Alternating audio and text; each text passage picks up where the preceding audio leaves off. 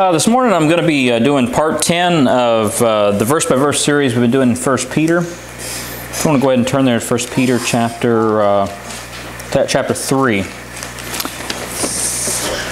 Last week we did verse 1 through 7. This week we're going to be doing 8 through 14. And we'll probably touch on a little bit of a little bit more of 14 next week. And I'm going to be reading out of the King James and the New American Standard throughout the, the sermon just to kind of give a better perspective of the verse. Because some of these words that are used here, I mean, the King James, I, I use the King James in this, but honestly, some of the words, just the, the Old English equivalents are a little harder for us to understand. So, looking at a more modern translation, um, even though a lot of people don't like that term, it helps us better understand what's being said in these verses in the Greek. It says here, 1 Peter 3 8 says here, Finally, be ye all of one mind, having compassion one of another, love as brethren, be pitiful, be courteous. The New American Standard says this To sum up, let all be harmonious sympathetic, brotherly, kind hearted, and humble in spirit. Um, I want to focus first on the be ye all of one mind because that seems to be the, the, the hang up here because a lot of people will take this verse or this one little phrase and they assume that it means we all have to be in agreement on every single thing all at the same time um, to be of one mind. That's some very high expectations because we all know that's impossible. I mean, no one can be all in agreement on everything all at the same time. Even husband and wives that are supposed to be one. Um, I'm sure we all can agree that uh, husband and wives don't always agree on everything 100% of the time, no matter what. Uh, so this be ye all of one mind is not, it's often portrayed and looked at in, such high expectations that it's almost like um, we, got, we have to be of a hive consciousness, you know, all of one consciousness, which just doesn't make any sense uh, when we take it that way. There's many things that we can agree on that make us Christian, but there's also secondary issues that we can agree to disagree or have different opinions on that doesn't affect whether you're Christian or not. Um, there's very important doctrines that if you don't agree and you don't believe in, you're not Christian. But then on the on the same field, there's other doctrines that we can agree to disagree on and still have the same intent and purpose for Christianity and the kingdom. And um, and we're going to look at some examples of that in this in this message but taking the be ye all of one mind as we all have to be agreement just doesn't make much sense. It, it has to be something else. Uh, that is a very very high expectation. For example um, if someone denies jesus being the messiah god in the flesh obviously that is a big doctrine major doctrine. Uh, if someone denies that then we have to there's some big that's a big doctrinal, it's a major doctrine in Christianity. If one denies it, they're not Christian. Um, or if someone rejects the laws of God, that basically we can do whatever we want. We can murder, we can steal, we can um, do, do whatever we want. There's no moral law to keep us in check. Um, and, you know, another Jesus. You know, this is a, something we have to remember too. Jesus is portrayed in Scripture as being a certain type of Jesus. One. There's a lot of religions like Mormonism and Jehovah Witnesses that they teach another Jesus. They use the same word, but it's if you look in Scripture, it's not the same Jesus, and we even are warned of that of people preaching another Jesus. And um, if you believe in another Jesus that we can't find in Scripture, that's a, dis- a disqualification to be a Christian. Um, doesn't matter if you use the same word. You can say this post back here is Jesus, but and you can worship it. You can call it Jesus, but it's not Jesus, obviously. Um, there's just things that we have to come in agreement on to be Christians, but that doesn't mean that we have to agree on all things. I'm sure if we all sat down and looked at every belief we had, we could find disagreements, but that doesn't mean that we hate one another or we have to come into some kind of uh, disfellowship over it. Yes, there are things that do qualify that, but not everything, like so many people like to we, we're very good at dividing and not very good at uniting, unfortunately, as Christians. Another example, this is just one example of many, of a doctrine that different Christians can hold, but it doesn't disqualify them from being Christian.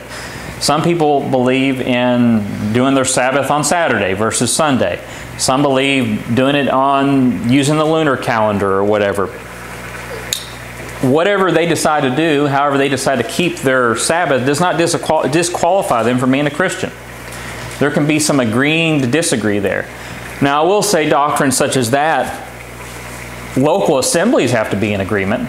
I mean, especially when it comes to what day you're going to assemble on. You know, it doesn't mean you disqualify people from being Christian, but if you have a local assembly and they're you half of them want to meet on Sunday and half of them want to meet on Saturday, uh, you're going to have an issue uh, with that. It's not a doctrine that affects anyone's salvation or Christianity, but it is a logistical issue um, just like um, other things. So there's things that are just common sense. And uh, Colossians 2.16, just when it comes to, uh, we don't have to turn there, but just when it comes to Sabbaths and holy days and what people want to do, uh, the scriptures are very clear on that, that there is going to be some disagreement in that. Let's turn to John chapter 17. John chapter 17.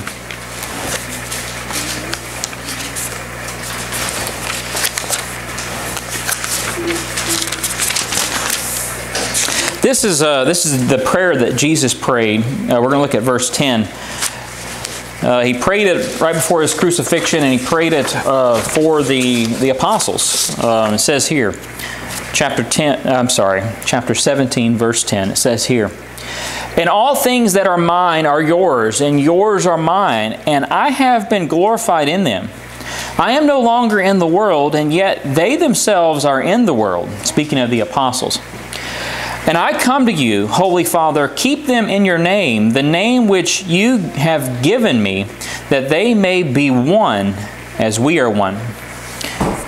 Now, this verse here is Jesus praying a prayer over the apostles that after he's gone out of this world, that they are going to have be one, one together. Obviously, he didn't want them to leave and be fighting and uh, have infighting amongst them. He wanted them to have unity. And uh, then he goes on to extend this prayer, not just the apostles, but in verse 20, he extends it to us. And it says here, and I do not ask on behalf of these alone, speaking the apostles, but for those also who believe in me through their word, that they may all be one, even as you, Father, are in me and I in you, that they also may be in us, so that the world may believe that you sent me. Now, Jesus prayed this prayer and he taught us to believe and pray in faith, so we have to believe that this is true. But does it mean what often is portrayed that it means? That we have to be kind of of a hive mind or have to agree on everything? And no, I don't think it does. So, what does this be one as Christians mean? Well, uh, let's turn to Philippians chapter 2, and we're going to dig into it a little bit more. Philippians chapter 2. And we're going to look at verse 1 and 2. If there be therefore any consolation in Christ, if any comfort of love, if any fellowship of the Spirit, if any bowels and mercies, fulfill ye my joy that ye be like minded, having the same love, being of one accord, of one mind. The New American Standard puts it this way Therefore, if, excuse me, therefore, if there is any encouragement in Christ, if any consolation of love, if any fellowship of the Spirit, if any affection and compassion, make my joy complete by being of the same mind, maintaining the same love, united in spirit, intent on one purpose. And so often, Christians are not intent on one purpose. Um, they're not. We as Christians oftentimes will argue about the stupidest things and divide over the stupidest things when our enemies around us they're intent on one purpose and even they disagree on things amongst themselves. But they're intent on one purpose and main focus and that is whatever their plans are. But oftentimes christians will divide and bicker among each other on some of the most minor issues I mean, whatever, we can name a long list of them, whatever it may be. When the major issues, the main issues, are often overlooked and never talked about. And it's not to say that the, in my opinion at least, that the minor issues are not important, because to say they're not important is kind of to reject a lot of Scripture because these minor issues are brought up a lot in Scripture. But they're not important enough to divide and conquer over and are intent on one purpose through Jesus and his kingdom. There has there's it's not that extreme. We are to be an intent on one purpose in one mind, but we're not to divide over every little thing. So let's break this verse down a little bit. Just a few of the points that he makes here. He says here we had to maintain the same love. And this is all part of being one, by the way, is what he's breaking down here. Maintaining the same love. Now, us here, is it possible for us to maintain the same love towards one another? Not just family love, but as a body of believers, a church body, whatever we want to call it. Is it possible for us to maintain that same love for one another? All of us equal love for one another in the way that Scripture lays out love uh, with its relation with the law and, and everything else. We're to look out for one another like we would want ourselves to be looked out, looked after. For example, if I love you, I'm not going to steal from you. I'm not going to murder you. I'm not going to burn your house down. I'm not going to be untrustworthy. I'm not going to lie. And if I do any of those things, then biblically, I don't love you, and vice versa. That is a form of love that's biblical. A lot of times Judeo Christianity teaches love to be ooey gooey and just kind of, it, it's a shell, empty shell. There's nothing in it. Um, and oftentimes people will say, I love you, and I, you know, this, this Christianity ooey gooey love, but when you look at it and compare it to the love laid out in Scripture, it's not, there's no value to it, there's no substance to it. So, it was Jesus that said in uh, John 14, 15, If you love me, you will keep my commandments. Well, there we go. If we love Jesus, we'll keep his commandments and do what he told us to. And we know from a past message that I did a while back that loving God and loving our brother is the sum up of all the law. And he summed it up to where it's really easy to understand. I mean, if we love our brother, we love God, we're going to do the things that he wants us to do. So we can maintain that same love. But what about uniting in spirit and intent on one purpose? Uh, King James says on one accord. The apostles, I think it's in Acts chapter 2, said they were intent on one purpose. They were all in one accord. Uh, I don't think it meant they were in a Honda either. Often that's a, a joke that's often thrown out there. But um, they were intent on one purpose. Do you think that meant that all the apostles, and I know in Acts 2 it talked about all the people they had baptized and that they had become Christian. Do you think that meant that all of them were on the same page and on one accord on everything? Do you think that the person that realized that they were, we talked about it a few weeks ago, the Judean that Peter was preaching to that realized that they had crucified our Lord and they repented and they were baptized that day and they became a Christian. Do you think that they were as knowledgeable in all things as the Apostle Peter? No. I mean, we don't obtain knowledge the moment we become a Christian. We don't get something downloaded into our brain where we're up to speed on everything. I wish it was that easy, but it's not. Um, so, no, they were not in one accord in that manner. They couldn't be, it'd be impossible. So, there's a difference. Uh, we, a while back, we talked about how the Apostle Paul and Peter actually talked about it here in this book how there's baby Christians. And the baby Christians are to drink the milk because they can't digest the meat. Well, right there, there's two types of Christians. We have a baby Christian that can only eat milk, and then we have a veteran Christian that can eat meat. Two types of Christians, two people washed in the blood, but they are not in one accord in the way that we interpret that verse often. They are divided. Now, one may understand something rather than uh, better than the other, and um, but they're both Christians. So there is some rank there, if you want to call it that. There is some difference. Um, I may understand something in Scripture better than someone else, and someone else may better better understand something in Scripture than me because they've put in the time on that particular subject or that particular understanding. And um, I think we're all that way. I mean, I know for me, the more I study Scripture, the more I find out I don't know and how stupid I feel. Then you'll meet somebody that is very knowledgeable in something in Scripture and then not very knowledgeable in something else. Does that make them less of a Christian? No. But there is some difference there. We're not on one accord on that subject. And like I said, understanding one, being one as being a high expectation of knowing everything and being on the same page is just, it's not, doesn't make any sense. It really doesn't.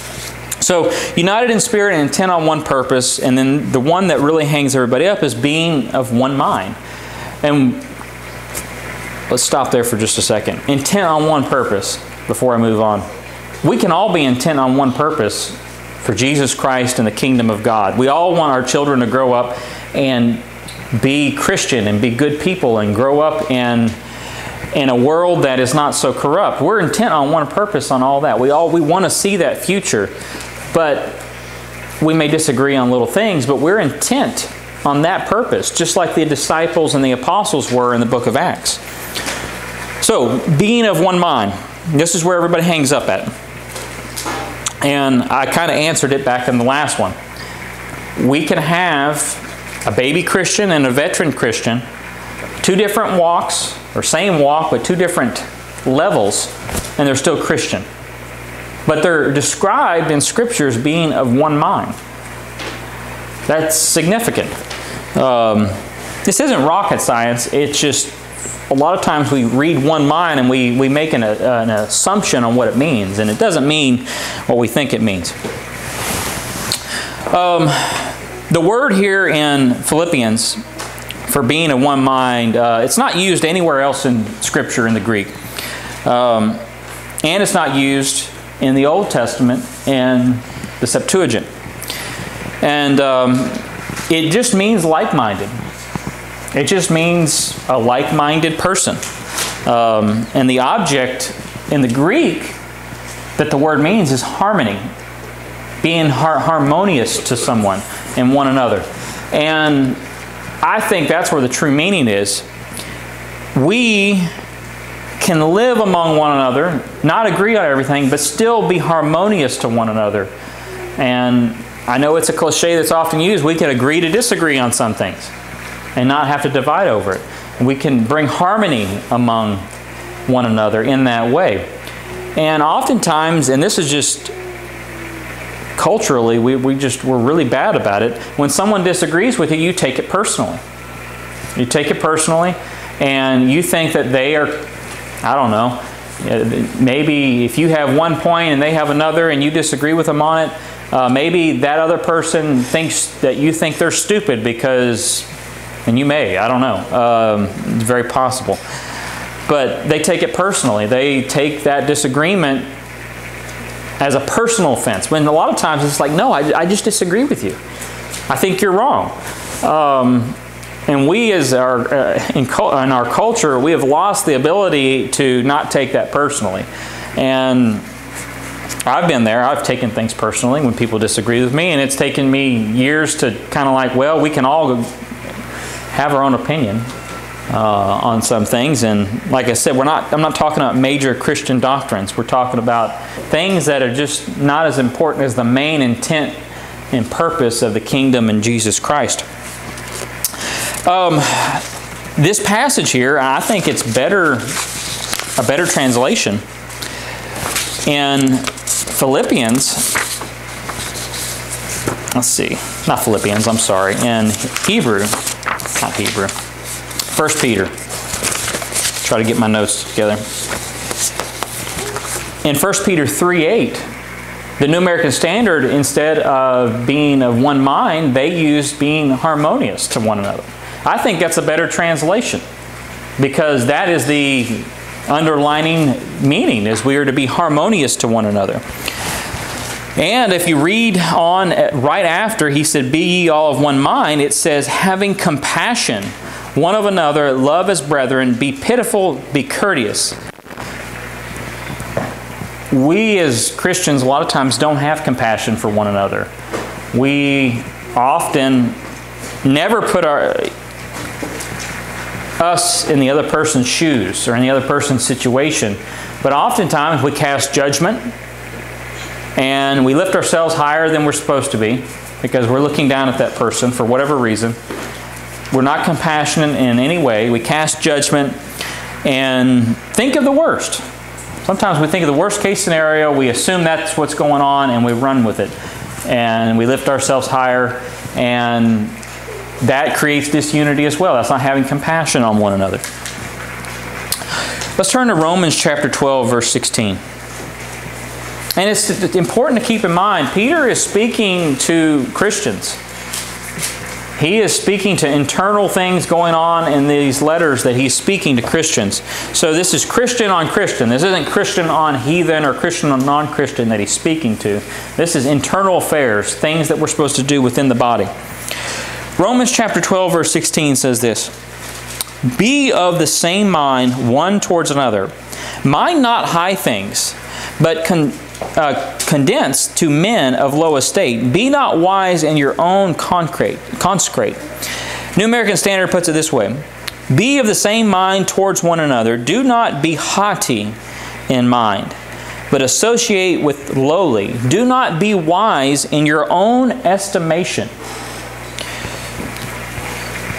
Do not be haughty. This is very important.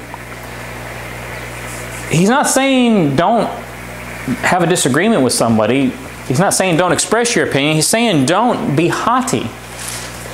Now, how often have, and I know I'm just speaking for myself, how often have we met somebody that may be right, but they are so haughty and arrogant, you wouldn't believe it even if they were right because of the way they're coming across. I have heard arguments from people years ago that they came off haughty and arrogant and I rejected it. And years later, I'm like, well, they kind of had a point, but I would have never accepted it because of the, the way that it was, it was coming across.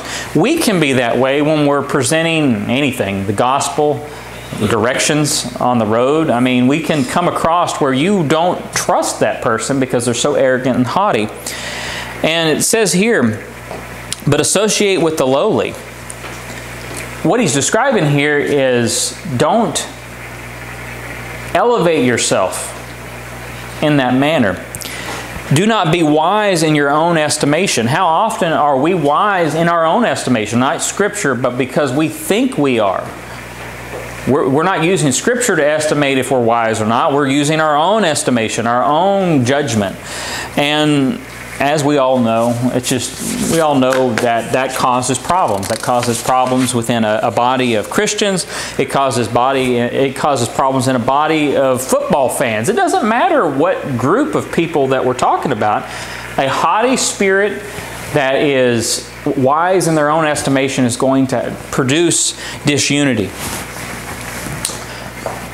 How often, and I, I'm pretty confident that I can speak for everybody here, that we have met somebody that thinks they're holier than thou for something that they think that they're doing.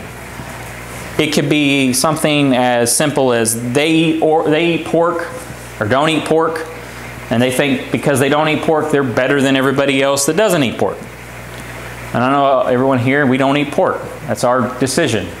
That's a whole other study. But I don't think of somebody that doesn't eat pork as being non Christian for doing it. I think it's a very unwise decision, but that doesn't mean that I think that they uh, somehow I am holier because of that. Or someone that worships on Saturday and they look at down all the people that worship on Sunday or whatever calendar they use because they worship on another day. They think they're holier than everybody.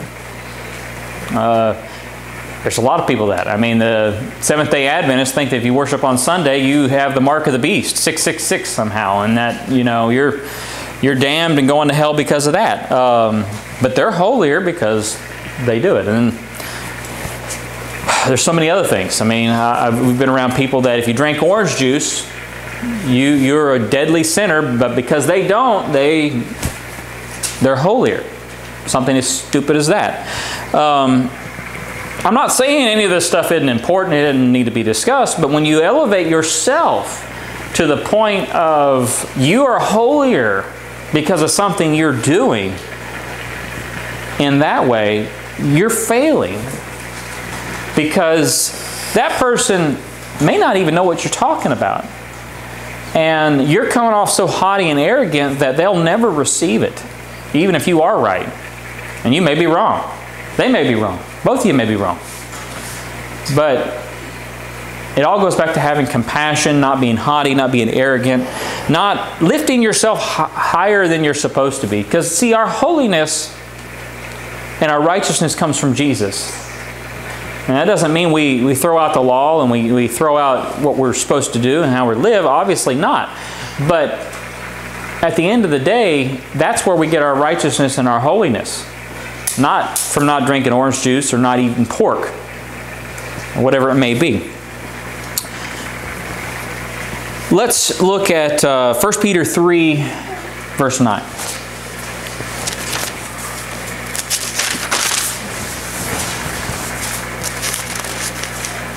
Now, oftentimes, people that have this attitude, they do exactly what Peter brings up here in verse 9.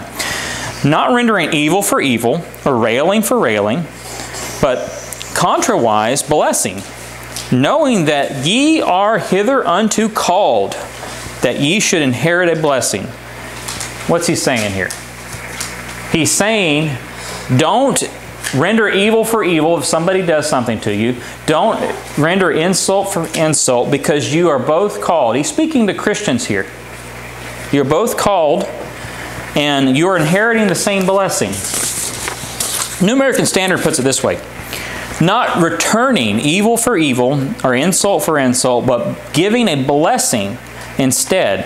For you were called for the very purpose that you might inherit a blessing how often, and this is our fleshly nature, and I'm speaking for myself, not anybody else. When someone does something to us, we want to do what? Pay them back, right? Insult them. All the little kids here, your brother hit you. What, what do you want to do? Hit them back, right? And nobody's speaking up. Um, we want to pay him back. We want to we want to revenge on him. We want to get you know he hit me. I want to hit him back with something harder next time. That's, that's not right. Uh, that, we're not supposed to do that. Oftentimes, adults, they do the same thing. When someone insults you, what do you want to do? You're going to insult them back, right? Sometimes it goes even farther. Poke holes in his tires. I want to, you know, I'll talk about him behind his back. I'll show him. He won't do that again to me. If someone does something bad to you, whether it be an insult or whatever, we're not supposed to take that same thing that they did to you and return it back to them. Because then that evil that they get sent to you or that insult, you are multiplying it. It was one, now it's two. And what if that person takes it and does it again? Now it's three times. Then what if someone sees you doing that and then they go and do it? Now it's four times, five times, six times. That doesn't build up the body. And remember, we're speaking to Christian to Christian here. He is saying, listen, y'all don't argue. If someone does you wrong, don't go and do it back to them. Because that just build that just tears down. It doesn't build up.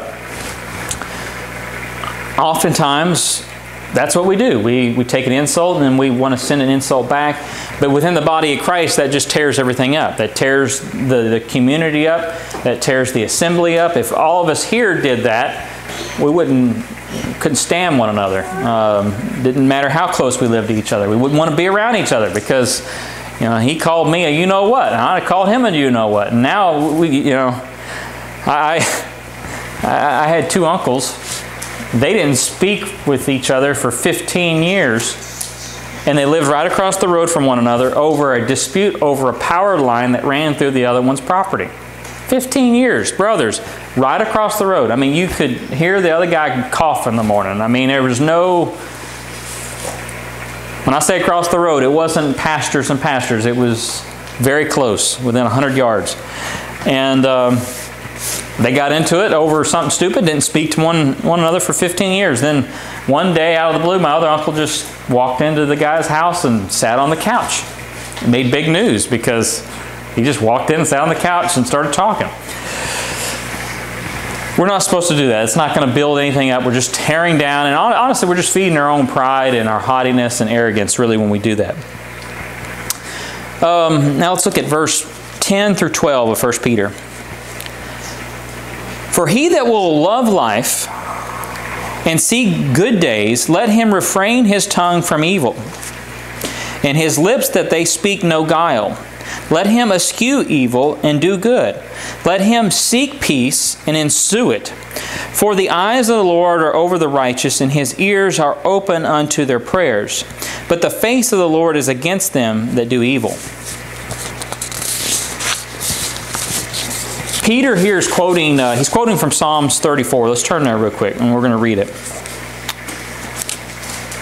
And even though he's quoting from Psalms 34 and we just read it in Peter, it's good to go back and and read these passages because and at least note them because we see how much the New Testament writers are quoting from the Old Testament. Now, because Peter's quoting from the Greek Septuagint, I am going to read from the Septuagint, but it doesn't change too much in, uh, in the King James or New American Standard. Uh, Psalms 34, verse 12 through 16 says this What man is there that desireth life, loving to see good days? Keep thy tongue from evil and thy lips from speaking guile. Turn away from evil and do good. Seek peace and pursue it. The eyes of the Lord are over the righteous, and his ears are open to their prayers, but the face of the Lord is against them that do evil. To destroy their memorial from the earth, and the righteous cried, and the Lord hearkened to them.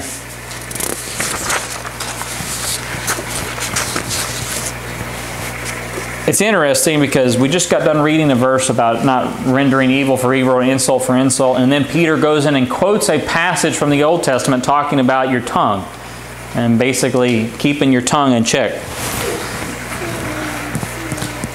And if we follow just the principles in this verse, we'd have so many problems in our life just go away because oftentimes our, our tongue gets us into a lot of trouble. People that have tongue issues, and we all do, some worse than others. We all sometimes say, I say sometimes, I, I, say things all the time that I shouldn't have said. And, uh, and as much as we want to bring them back after they go out, they're, they're gone. But the first point in this verse is keeping thy tongue from evil and thy lips from speaking guile. Do you remember a few parts back in 1 Peter? He talked about not speaking guile or wickedness, bad things. How many times have we met somebody or we've been in that spirit where all we do is speak negative thoughts, wicked thoughts? And it may not, when I say wicked, it doesn't have to be just, you know, things, something that's dirty or bad, but just things that aren't uplifting, things that are not, not going to bring about joy and peace in your spirit or other people's spirit, but rather just negativity and, and bad things. Often, those people that constantly do that, they're the saddest and they have the least peace. And we're all, we're all guilty of it, I'm pretty sure. We've all spoken bad things that we really shouldn't have said, and they caused maybe some disheartening in yourself or someone else. And the point I want to make is the people that constantly do that are usually the people that are unhappy, they don't have any peace, they have issues. Sometimes they have trouble keeping a job down because nobody wants to be around them because they run their mouth all the time, they cause problems. I don't, every job I've ever worked at, there's always been somebody that runs their mouth and is always causing problems, and everybody knows it. You know, whether it be gossip, it's guile, it's negativity, it's all guile. And uh, their attitude is terrible. They tear down, they render evil for evil, insult for insult. They just encourage wickedness in, in a sense where nothing can flourish, nothing can be built upon anything in there. And we see all throughout the Old Testament and the New Testament that the tongue is, is directly connected to how things can be built and tear, tore down. One scripture that comes to mind is James 1 26. And uh, any verse, I don't care what verse it is, that has to do with the tongue, are very hard verses to obey because the scriptures indicate that the tongue is very hard to tame, untamable. Um, you, it, it, you have to gird it like a horse, and it's, it's very hard to keep in check. But James 1.26 says this, Any among you, excuse me, any man among you seem to be religious, or one could say righteous, and bridleth not his tongue, but deceiveth his own heart. This man's religion is vain. I'm going to read it again.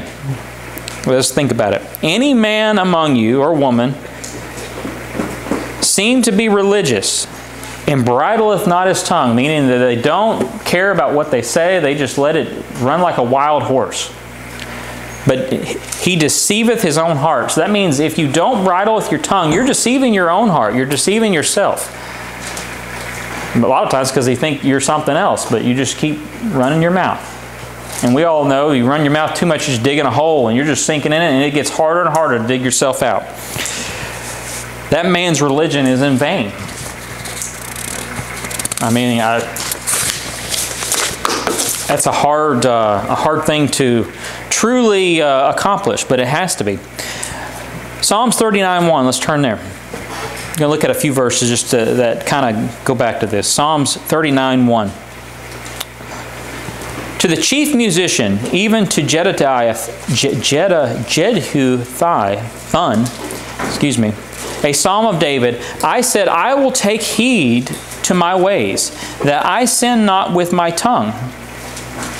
I will keep my mouth with a bridle, while the wicked is before me. This is interesting. That I sin not with my tongue. It means sins can be committed with your tongue. I will keep my mouth with a bridle. There's that bridle again.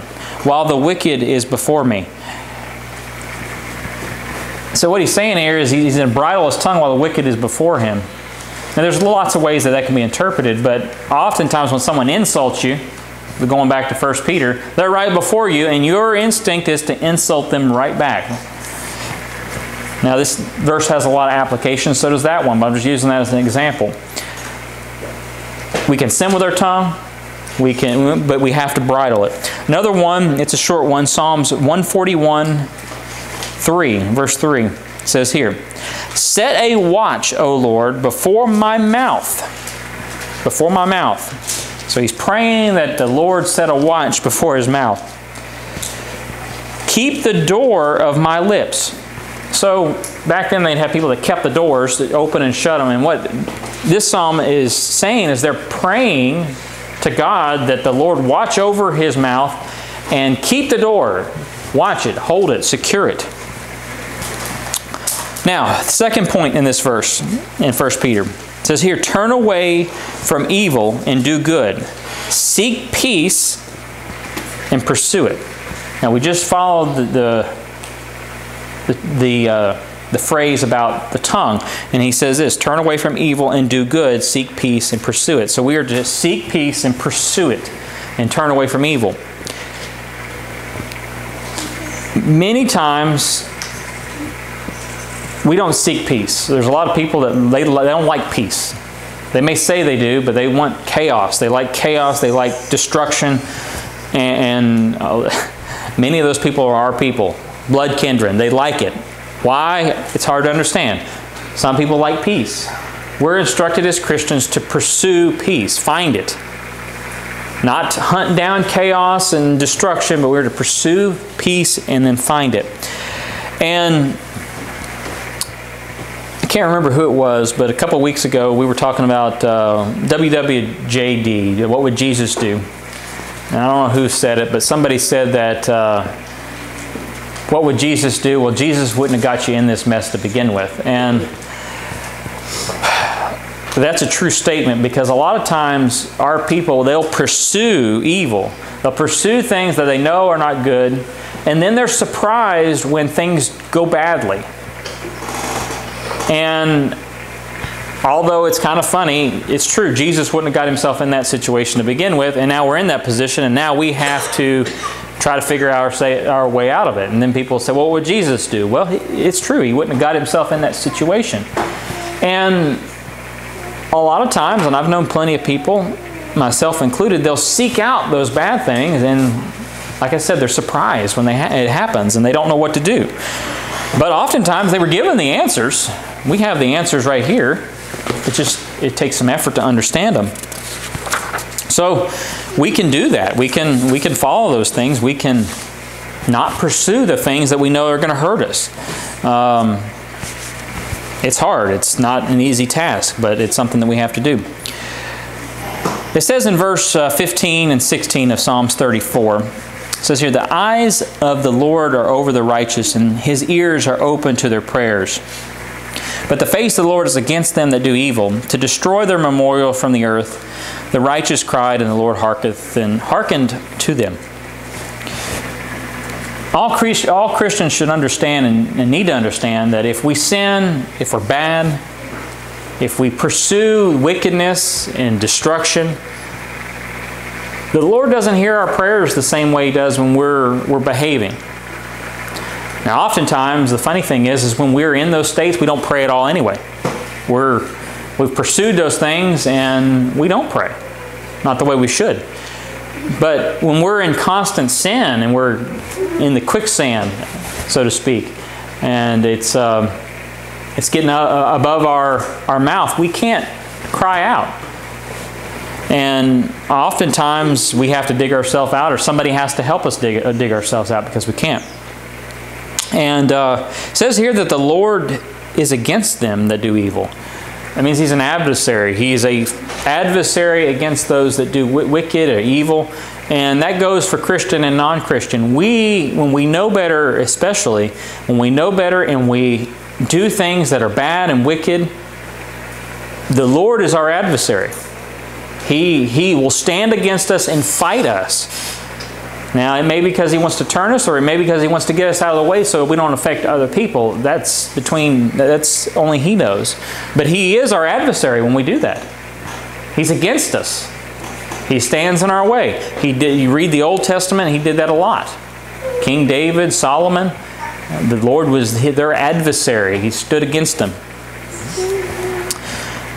And if we're not pursuing the kingdom of God and His righteousness here on this earth in all the many ways that we can do that, we are standing in the way. We're, we're causing problems. We're not building, we're destroying. Um, and we are either builders or destroyers. That we can build up our family or we can destroy them. We can build up our community or we can destroy them. We can build up ourselves or we can destroy ourselves. There's really no in between, there's no gray area. Um, it's either one or the other. Okay, now let's look at 1 Peter chapter 3 verse 10. And we're going to read through 10 through 14. For he that will love life and see good days, let him refrain his tongue from evil. Now, I do want to stop real quick and make this point. People that run their mouth a lot of times and don't bridle their tongue, it says here that he that will love life, he for he that will love life and see good days. Oftentimes, people that run their mouth and are a problem, it's very high possibility at some point in the future they're going to meet physical bodily harm from someone that just has had enough. Now, I don't know how many times I've heard people talk about him. He's going to meet the wrong person one day and he's going to mouth off to him. there's a real practical application here. If you love life, you'll bridle your tongue. You'll refrain from evil in your tongue. Okay, let's read it again. For he that will love life and see good days, let him refrain his tongue from evil, and his lips that they speak no guile. Let him eschew evil and do good. Let him seek peace and ensue it. For the eyes of the Lord are over the righteous, and his ears are open unto their prayers.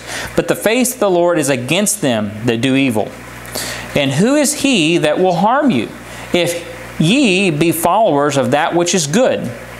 But, and if ye suffer for righteousness' sake, happy are ye, and do not afraid of their terror, neither be troubled. This is a true statement because we oftentimes, when we do the right thing, we are attacked, we are we suffer for righteousness' sake. And this can come in many forms. It can be anything from being talked bad about by a family member if you because you believe a certain way and they're non-believers. It can be to the point of going to prison. If you read Fox's Book of Martyrs, it can be to the point of death in, in extreme cases. Oftentimes, Christians are abused and suffer because they're doing the right thing. And the Apostle Peter here, which he should know, he saw a whole lot more persecution than we did. And then he ended up being a martyr himself. He's saying here, Happy are ye, and be not afraid of their terror, neither be troubled. How often today do we hear about all the things that the enemies of God are going to do to us.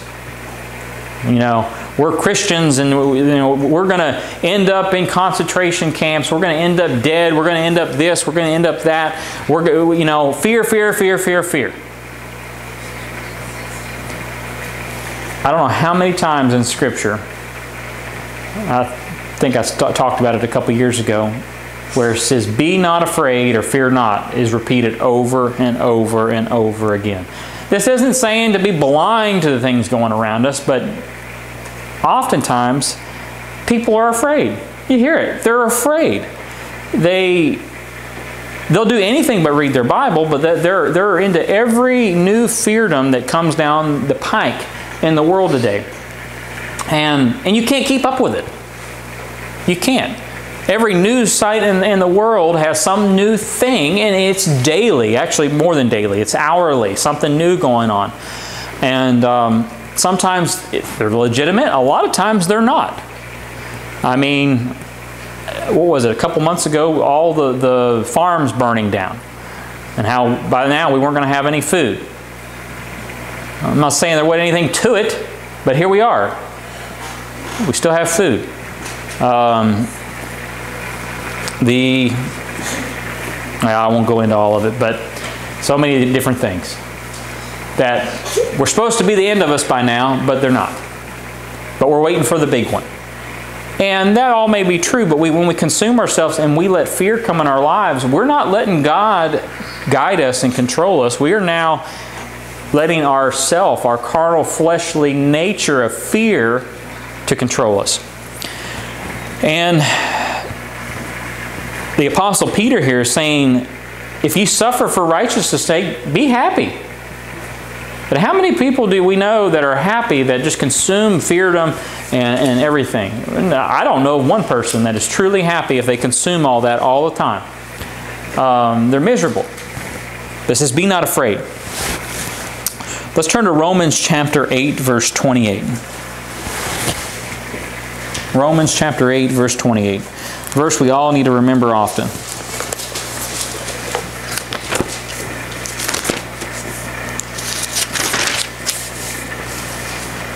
It says here, and we know that all things work together for good to them that love God, to them who are called according to his purpose. How many times in all of our lives here have we had something terrible happen where we just thought it was just unbearable. It was bad. We couldn't handle it. It was just going to be the end of us. But here we are. And then oftentimes, not always, we can see like 1% or 2% of how God took that and, and made it into good. He took that bad thing that we thought we weren't going to be able to bear, but He turned it into good. And oftentimes we don't get to see it. Maybe see a glimpse of it, but we have no idea all the things that He has going on in that way, in that in His plan that affect other things that we'll just never be able to see. Um, one day He can explain it all to us, but it's a blessing just to see a little bit of it. Um, the biggest testimony is we're here. Whatever thing we had in our past that we thought we weren't going to be able to bear, now we see that it was made for good. We're here. We're, we're, we bear through it. Um, that's something to remember. We should remember at all, th- all times, we know that all things work together for the good for those who love God and are called according to his purpose. The people that Peter were speaking about in this passage were called according to his purpose. They love God. We are called according to his purpose, and we love God. That should comfort us.